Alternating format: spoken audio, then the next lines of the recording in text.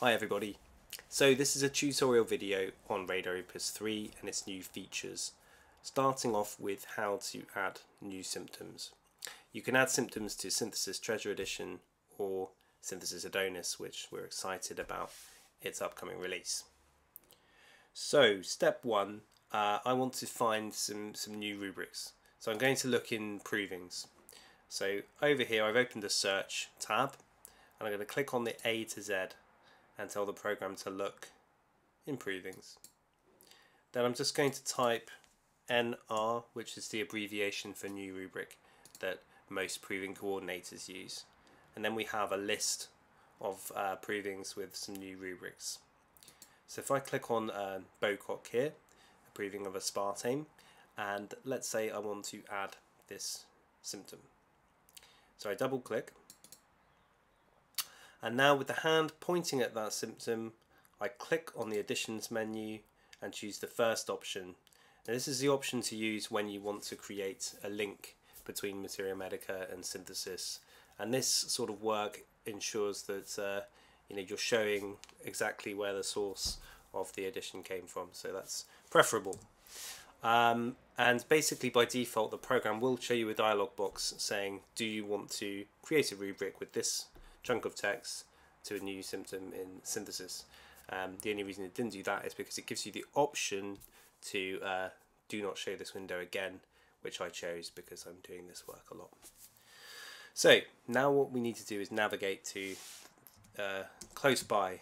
So we'll start typing and go into the rubric for content okay and then just remind ourselves what it said so content during mental prostration so they've done the um, format of this symptom correctly so actually I can hold down alt and drag then right click and copy go back to synthesis okay and we need to look for a subrubric of content close to the letter P, so we've got partner. So we can go below partner because our first word is prostration. Okay, so we navigate to the exact point at which we want to insert the new symptom level. Then go back to the additions menu, and then this option here, add a symptom level below the current symptom. By default, it gives you the option to add it at the same level, which is exactly what we want to do in this case. If we wanted to add a, you know, a sub-rubric to the one above, which would be a little odd, we would click on subrubric. So at the same level, and because um, we copied it, and because they've used the correct formatting, I can just do Control V, check, OK. So now Radar Opus is going to add this new symptom level. Now the speed with which it can do that depends a lot on your um, computer. This is a PC with a solid state drive uh, and it's quite fast.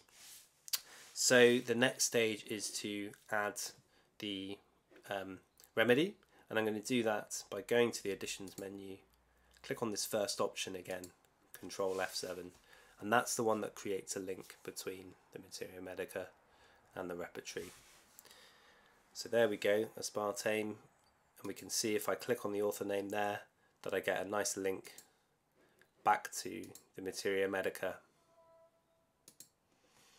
and we could add this uh, another one here to show you how the process works. So the hand's pointing at that rubric. Go to additions add a remedy. Control F7 is the shortcut. Then I need to type delusions. And it was automatic wasn't it? So auditory and authority. So it goes between those two. And then control F10 is the shortcut and actually I'm going to press escape because I need to copy the text. And this is very handy when somebody uses the correct formatting already. Control C to copy back to the repertory control F10 I know I'm in the correct place. Automatic press enter enter. And you can see that you can work quite fast once you get the hang of the workflow here so the program updates then control F7 is the shortcut so I don't always have to go back to the menu and that's it So that's what I wanted to show you about adding new symptom levels to the program. Um, these were, are all now searchable, so if I right click, search for this remedy in current document only, you'll see that I can see all of those symptoms already coming through. Okay, uh, and one last thing that I wanted to say about this work is that, um, yeah, it's to do with the speed of the program and the way the database works. So if you're using a computer with a hard drive, then you know these operations do take a long time. And please bear in mind that uh, Radar Opus uses one single database which allows us to create links between the Materia Medica and Synthesis. And there's also lots of languages, um, translations in Synthesis. All of this needs to be updated and kept in check. So as soon as you create an entry, that has to, you know, the table of the database has to be changed. And it's very um, complicated, essentially, the behind the scenes work. We've tried to make it nice and user friendly, but behind the scenes, under the hood, what's going on is pretty technical. So, um, anyway, that's it from me for now. See you again soon.